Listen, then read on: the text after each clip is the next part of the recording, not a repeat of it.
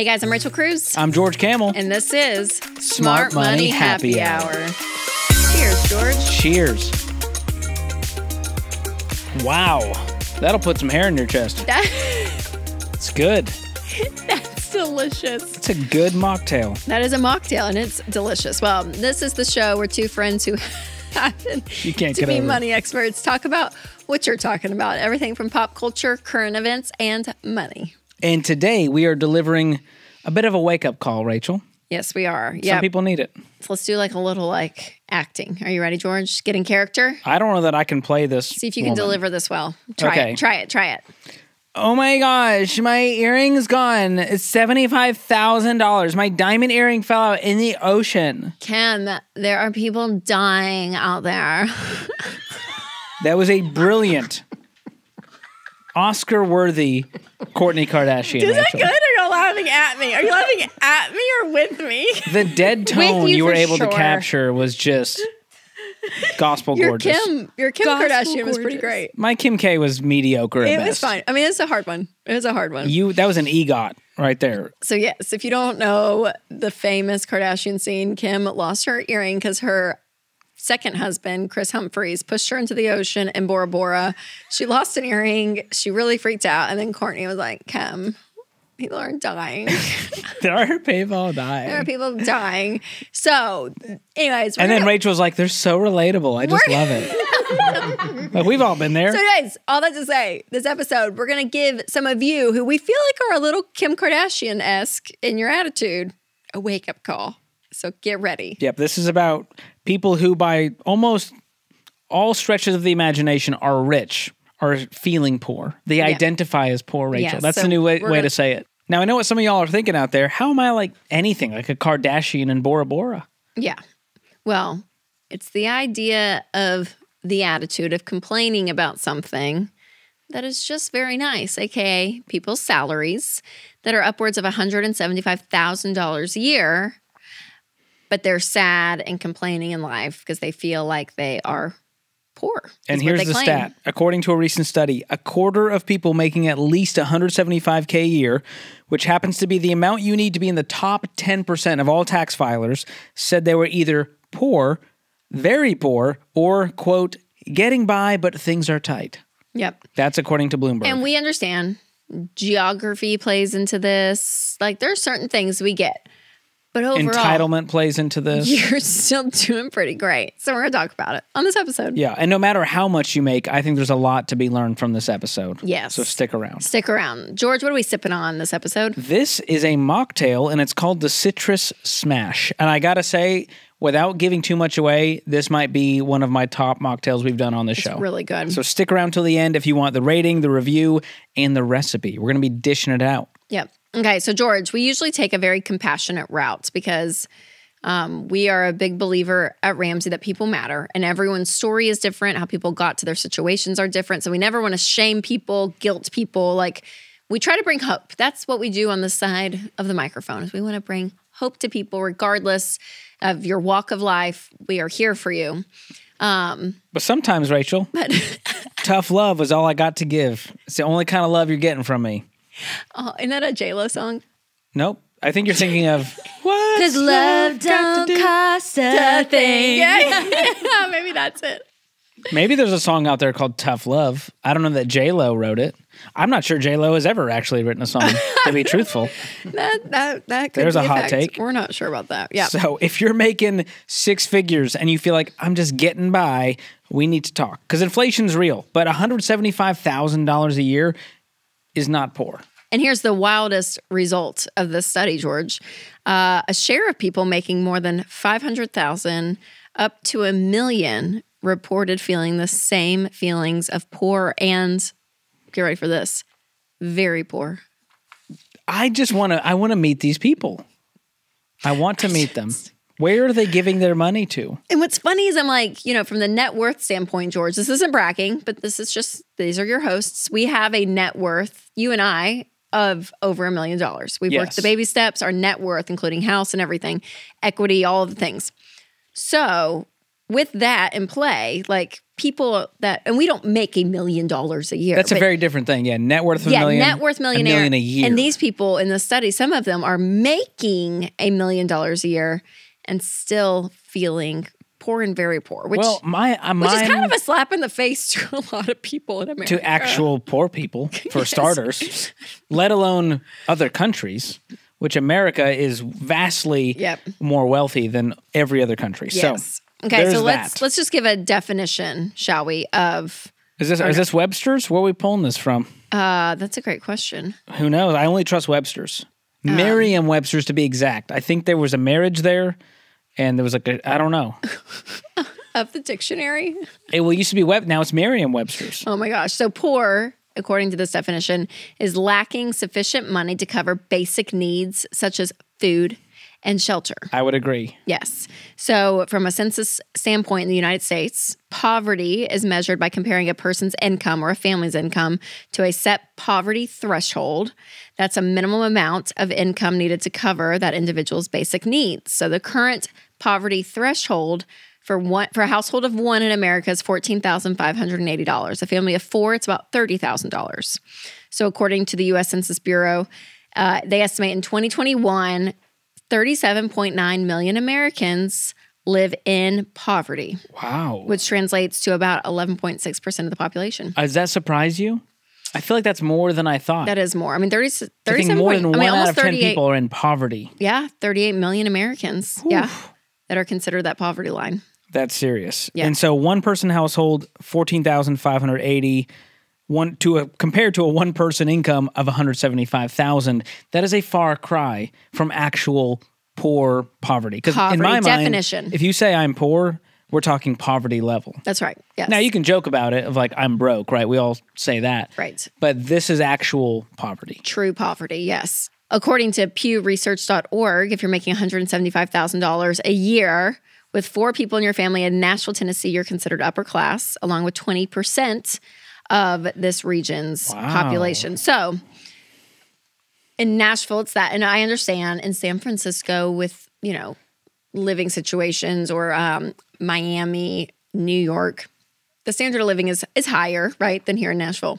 But still, but still, one hundred and seventy five thousand dollars, and that shows me. I'm like George. This is a clearly, clearly the definition of it's not an income problem; it's a you problem. And it's not an issue, it's an ish me. You like that? Use that on Winston tonight. well, really, you have to flip it to put it on I was gonna say, you yeah. have to say it's not an ish me, it's an ish you. It's an issue. It's not an issue See how he takes that. Sounds like I think he'll be so impressed that he just gives up. it sounds like Ishmael. I don't know. It sounds like a biblical Ishmael. Smile.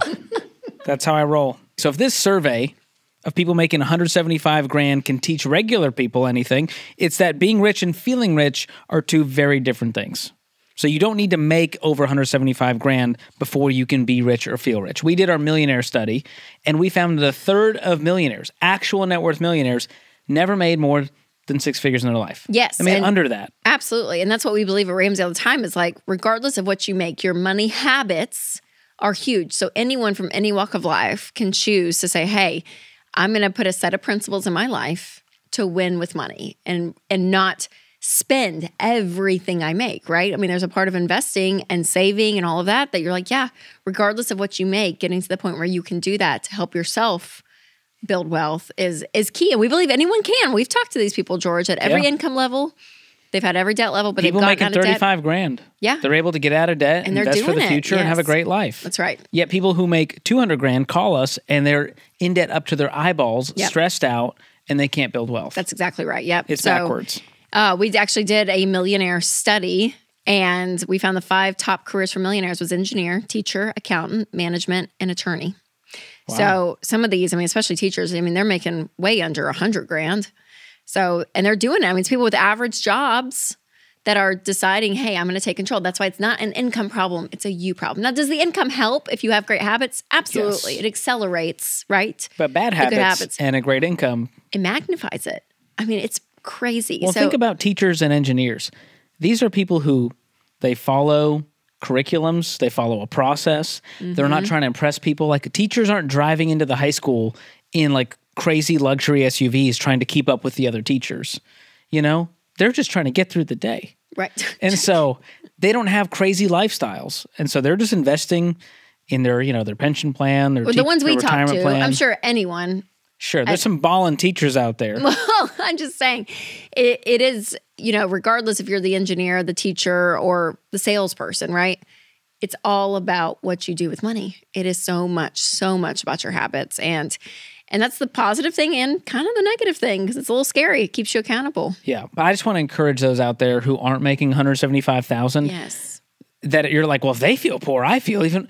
You can be very much okay. You can have actually more of a net worth than those people making one hundred seventy-five thousand dollars. That's true. That's a much They have better scoreboard. Tons of car loans.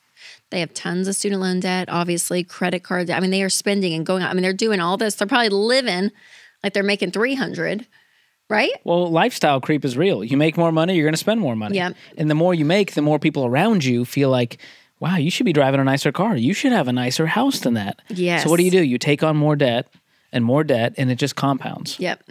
Okay, so to really paint this picture, I want to play a game with you, George. Love but a game. before we do that, I want to tell you about a game that we love, which is Tapple. It's less than $20 and it's a game that you can play with two people up to eight people and it's so fun. So you're going to love it. And just go to Walmart or wherever you buy board games and start playing.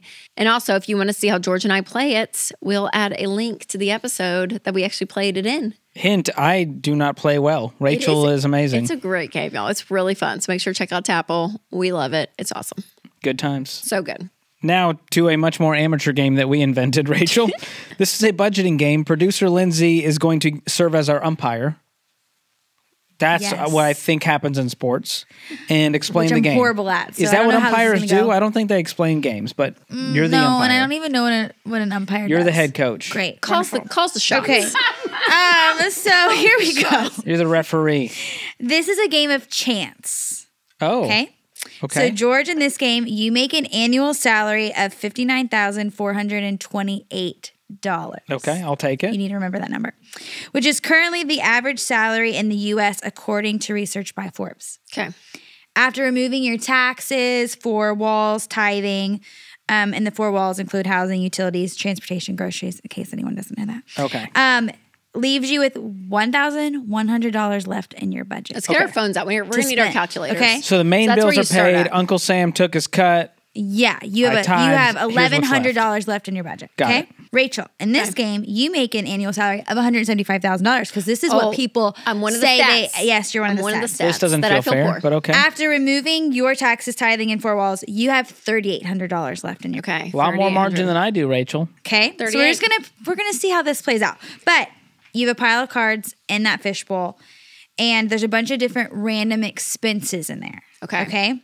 So you'll take turns drawing cards and subtracting whatever you pull out, like that number, that To expense to from your mainly like your remaining monthly budget. Uh, the first person to get to zero dollars left loses the game. Oh, so whoever runs out of money first is out. Yes. Wouldn't that obviously be me? We're gonna see because I mean we're This is trying to part of make the a game, George. We're trying Okay. to see, Do I right? Because people are identifying as Do I go first? Here. Yeah, we'll have you go first. So you're gonna have to read it out loud and then make sure you deduct. Here we go. Okay. Uh, cleaning supplies, $75. Okay. All right, I got a bottle of water at the airport, eight dollars. Okay, make sure you Hurtful because I would bring my own empty bottle and fill it, but okay, I'll go with it. There's probably a lot of people who don't do that. So Okay. I have a Netflix subscription of 20 Must be nice. You got the HD plan there.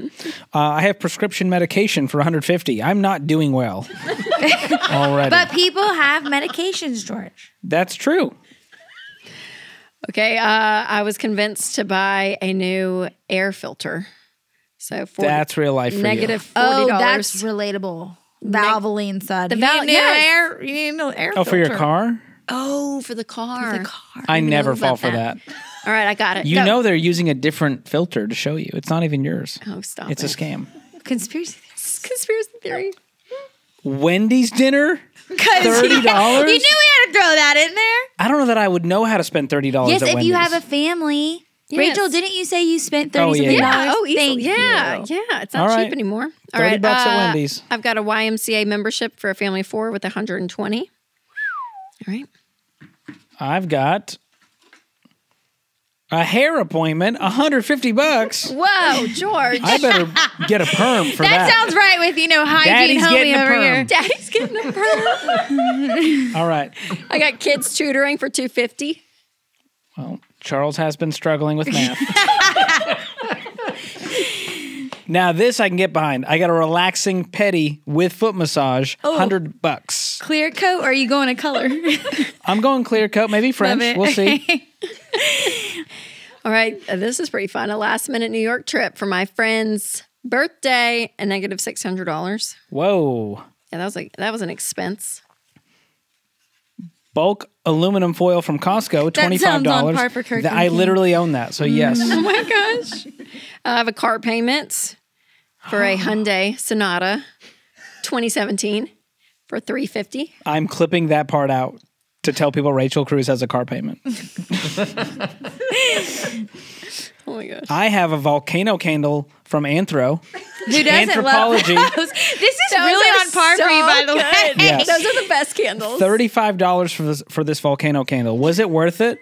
Yes.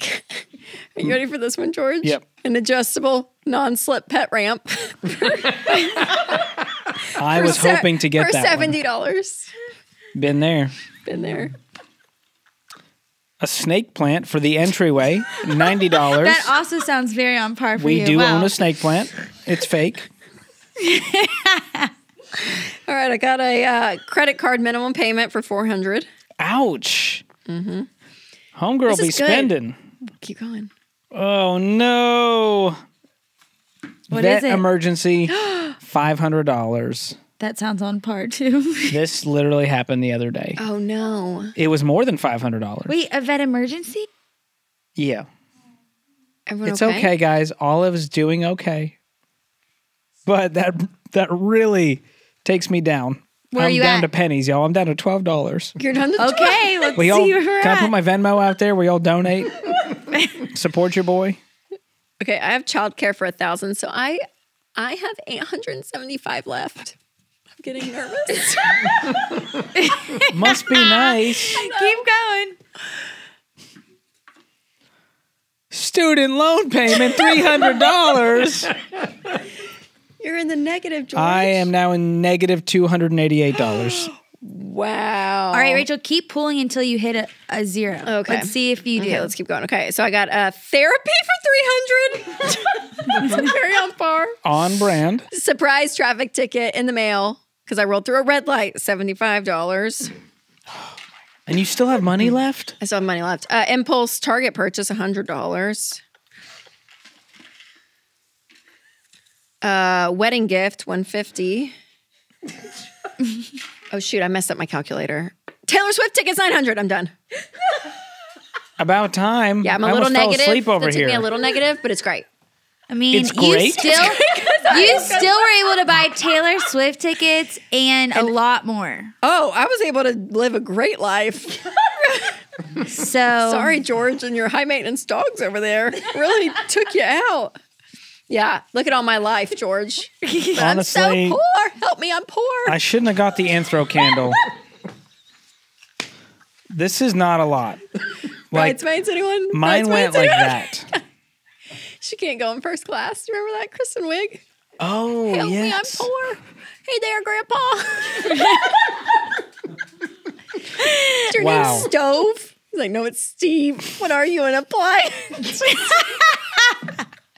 It's the funniest movie. Anyways, Uh, I'm so poor, Not George. expecting a Kourtney Kardashian impression and a Kristen Wiig impression I'm in so- one episode. I'm Y'all so are poor. blessed. This is a free show. Let me remind you.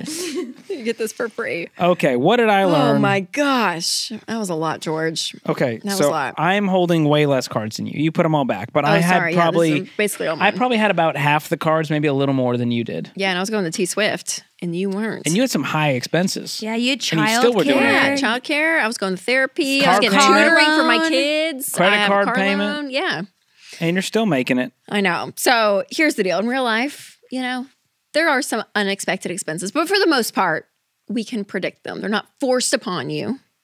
You True. can choose. Like these were kind of forced upon us. Um, because it's not just necessarily a game of chance. Part of it is to a degree, but mostly we can control you know, some of our expenses and look to see, okay, what is it really worth? So, yeah, that 175 uh, K It salary went a lot bad. further. Ain't bad. You still had a good life. Now, here's what was interesting. It was kind of scary not knowing what expense was coming next. Yeah. But what's even scarier is that people feel that anxiety every day as they live their Mm-hmm. life not doing a budget, Yes. not knowing what's happening. And of course, emergencies are going to pop up. No one's like planning for that vet appointment this month Right, for right. 500 bucks. but you can plan for the childcare, right? If you're Yes. choosing to do therapy or tutoring for your kids, all these things like those kind of things you can plan 95% of those were plannable. Yes, or choosing will. To say yes or no to, right? Yeah. Um, and that's where the budget comes into play. Where yeah, you're predicting as much as possible. You're giving yourself a plan so you know what's coming for your income to go further and to actually know what to do with it. I mean, it's it is. So you're not just like getting thrown these things and like having to figure it out. It's already figured out for Yeah, you. so this was a fun, uh, no stakes game of chance for us because there were no stakes involved. But in right. real life, how you spend your money is not a game of chance, and you can avoid a lot of this anxiety uh, versus you know pulling random expenses from the deck. A lot of people live their life like that. Mm-hmm. They're just kind of floating through life. Not knowing what's going to happen next, hoping they have enough money to get through the next month. And so we always tell people do a budget so that you have freedom and peace with your money instead of wondering where it's going Yeah. and freaking out when that emergency hits. Have an emergency fund of three to six months of expenses. Yes. Get rid of your debt so that you have margin to cover all of this. Yes. That it really does change everything. Yep. Yeah. And if you're making $175,000 a year and you feel like you're still holding a bunch of these like wild card expenses at the end of the month, like like I did, just know that you don't have to live like that. Like you can choose because some of that felt so out of control. You can choose to say no to stuff, right? You can choose to live below your means and not have this feeling poor mentality because you feel that because you don't have because like just like my example, I went a little in the red after the Taylor Swift tickets. So yeah, obviously you're going to feel stressed because you don't have any money left. But with that amount of income, you can say no to a lot of this, still have a great life, right? Cause you need some contentment in the midst of all of this. That's true. But to have that margin, it gives you a level of peace of mind that other things just they won't bring you. And if your income is more like that 60K that I was trying to live off of, this applies to you too. Yes, You're in sure. control of every single dollar coming in. You can work to increase your income through side hustles for a season as you pay off debt. And I do this example at our live events using our EveryDollar budgeting app. And I show people someone who makes 70 grand household income on average brings home 4800 bucks a month take home pay. Yeah. They're a thousand bucks in the hole every month. And I show them with some simple sacrifices how that can turn into 2000 positive every month. Oh, wow. A $3,000 swing by making some sacrifices, getting out of debt, freeing up those payments. And it's so eye opening to go like, oh, that's someone making 70. Mm-hmm. Imagine making double that and still feeling like, I don't know, Rachel, I don't have any money Where's left. going? Oh my gosh. So, in the future, before any of us complain about feeling poor, uh, let's just promise that we're going to take a second and, you know, look at the big picture, make a list of five things that you're grateful for that you can actually afford. Right. So if you start to feel that tension, actually see what can I afford that I'm thankful that that's what my income's going to. And make a list of five non material things that you're grateful for. So things that don't have a price tag to them Winston Cruz. because that He's on my list. I don't I hope he's on yours. He's on your list. He's on my list too. No, but really, I'm like, it's it's the things in life that can't be taken away that I've realized is like that's where your time and energy need to go.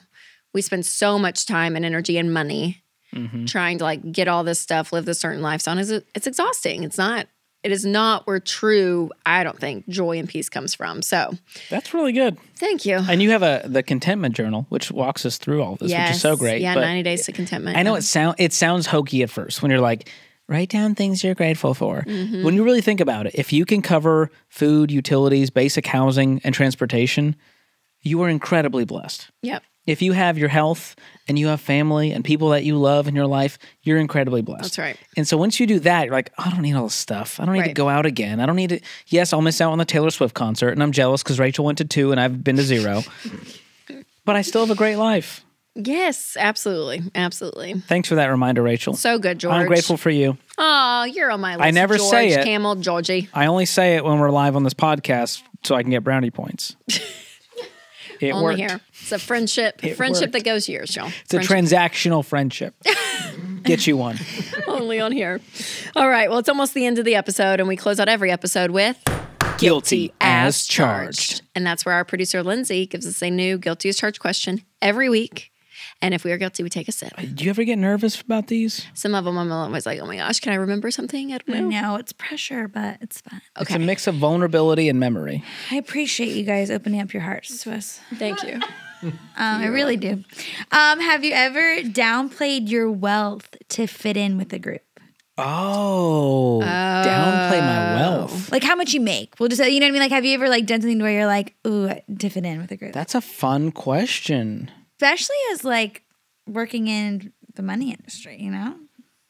Like you guys being money experts, you know, do you feel that? Like you ever I'll say this, not as much about the income, but our house situation when we built and moved in in 19 and like other people like that we got to know that didn't know us before the house would like make like kind of just not not rude comments but stuff about like they knew like if they found out that we paid cash for it like that's a very I understand like that's a very very rare thing and I'm very aware of that. So like if anything gets brought up about a mortgage or something, I don't really say anything. Oh, Do you know what I mean? Like I never you're not put gonna lie and be like, I oh never yeah, that my mortgage cents payment. Does that make sense? Yeah, I feel like like, with I other people downplay and friends and stuff, Yes, yes. yes. I get a little bit insecure in a sense where I'm like, oh gosh. You don't want to be the person that's like, this is how you do it. Well, also Yeah. it's partially and because like way like Right. yeah. you're modest. You're not trying to like flaunt. You know what I mean? No, yeah. That's not your personality. No, but uh but I downplay that, I would say. Probably the most. I feel like I'm the same way on a much you know lower scale, but I don't bring it up a lot with my friends. You know, like I we we both drive a Tesla. Mine is very old, and I'm very like I scrimped and saved to pay for it, and I waited till our house was paid off to buy it. And it's like an old, like almost anybody So do you feel like there. he's justifying this right here? I'm explaining why. Like it sounds like I have a Tesla. It's really old and it's terrible. But you know what I mean? just- like and I did it Tesla drivers can be pompous and obnoxious and ostentatious. Yes, you're the exception, Rachel. Oh They're I feel known like to be the Mercedes people are much more obnoxious. Sure, all luxury car drivers can be obnoxious, Okay. but Tesla's I just like mid range. when you say that, people put you in a box in their mind. People, people like people that drive Teslas to me. I'm like, you're economical. Economical. I don't know that I They think that plug way. in their cars. they plug in their cars. No. There is a base model of, thir- of it being thirty thousand dollars. I will say I never judge any of you who drive Tesla, but I don't think I would say you're just so economical. well, you don't have to pay for gas. It's That's economical. what I'm thinking. I'm thinking you're saving yes. money. But we were all thinking this is a very expensive vehicle.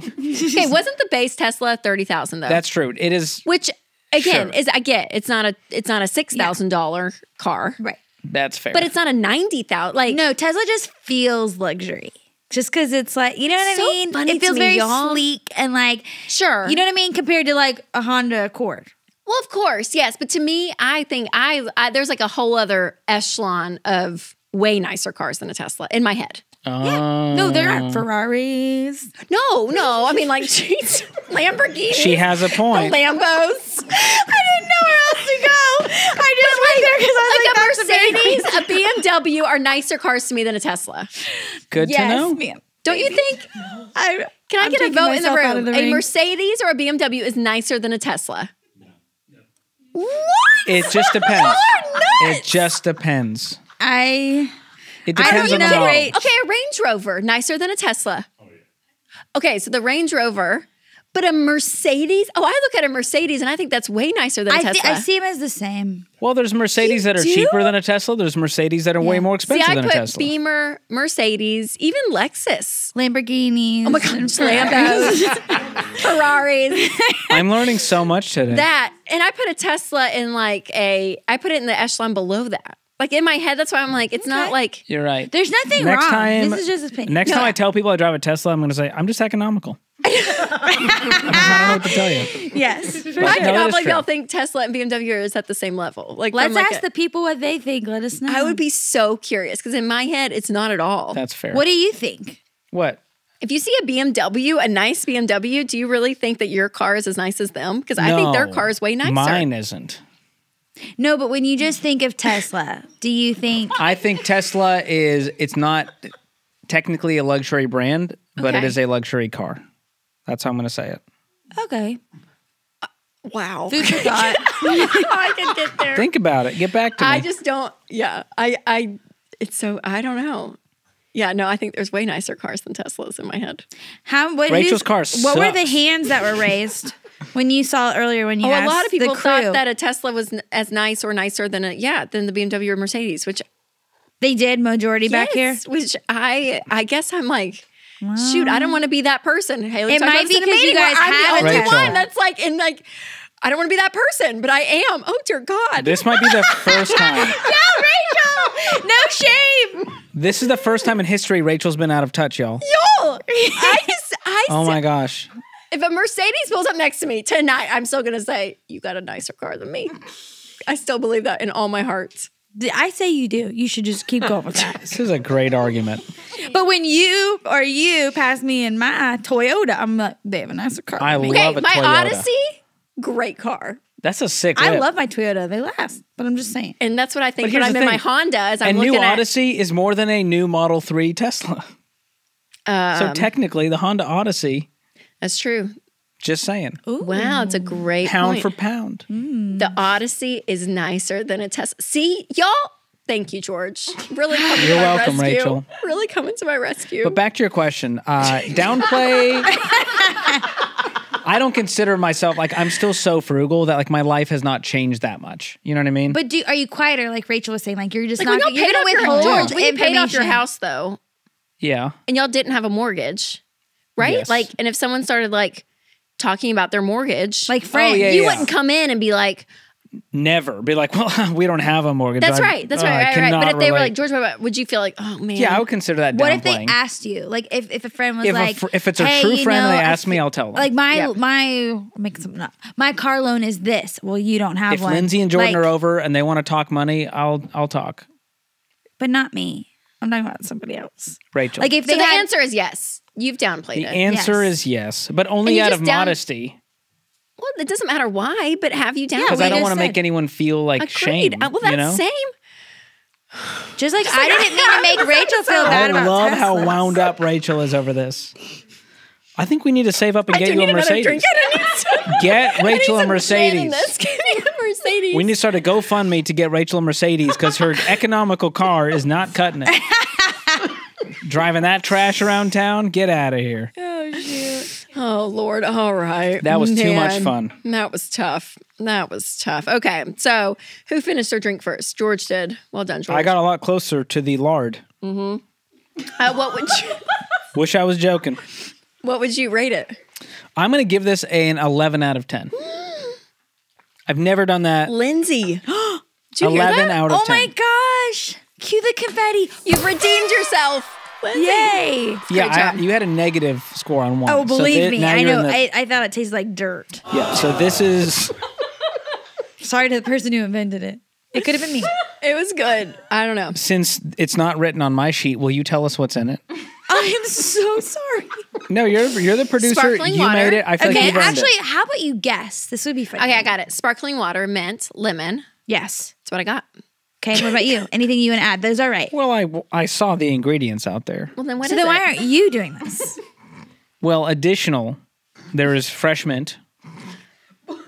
Fresh mint, Okay. lard. Lemon curd. Oh, it's not lard. Oh my gosh! I'm not sticking Crisco and just stirring that In that my head, I up was like, there. I saw it and I was like, they put lard in this. There's lemon Okay, lard. Okay, I'm taking back over. I'm taking back over. But it's Restart. simple Oh syrup, lemon curd, lemon juice, mint leaves, and seltzer water. Ah, And Lemon curd. How much do you think this is? Over four dollars or under four dollars? I think the lemon curd alone has got to be a few bucks. So I'm going to say 275. wow. I'm gonna go three fifteen. You're closer, Georgie. One dollar and sixty cents a glass. Wow, that's What? way less expensive than I was expecting. That's crazy. It's I really know, good. and it's tasty. It's really good. if good. you serve this at a party, your guests will never leave. yeah, they're they're gonna love it, y'all. That's so good. Yeah. Uh, what was your rating? oh, I'm gonna go. I'm gonna go ten out of ten. Wow. It was delicious. It was delicious. Thank you. If Lindsay. you all don't go make this at home this weekend, what are you doing with your life? We gave you a home run drink, So and it's a good. Which the mocktail lovers, we meet them. They're like, so thankful y'all do mocktails. I know, and it's so good. This is how you say thank you. Go make it. that was fun. So you can get the recipe in the show notes if you want to give it a try this weekend. So if you guys will leave a review, hit that subscribe button, do all the things to help the algorithm because we want to get the show in front of more people so they know that money can be fun. It can be enjoyable and you can take control of it. So make sure to check out us next Thursday on an all new episode of Smart Money Happy Hour. Yeah.